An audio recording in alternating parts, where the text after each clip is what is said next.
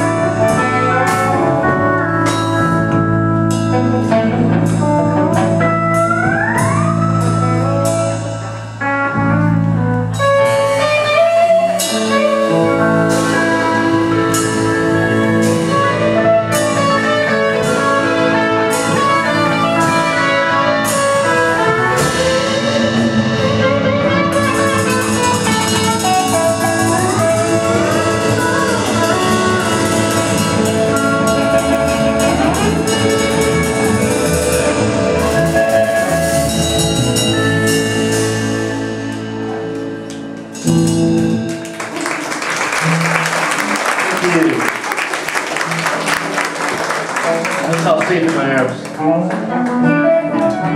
arms.